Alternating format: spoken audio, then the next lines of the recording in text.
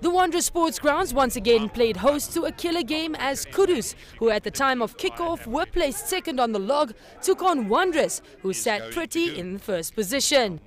The hosts just took three minutes to draw first blood with a penalty conversion. However, Kudus outside centre Justin Newman found the whitewash after a chip and chase, giving Kudus a 7-3 lead.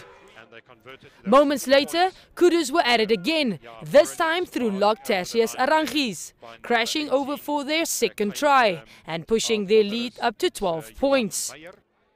Fly half Almar Kubiakas managed to close the deficit to just two points when he found a gap in the Kudus defense to crash over in the right-hand corner for a converted try ending the first half Wanderers 10, Kudus 12.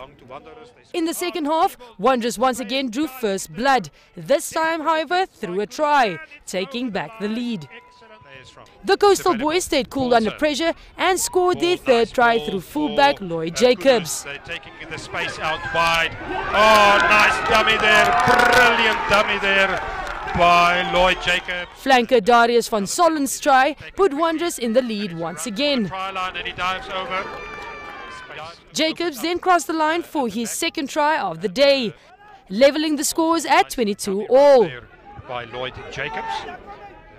With little to no room for error, Kudus gave away a penalty and Wanderers slotted it between the uprights.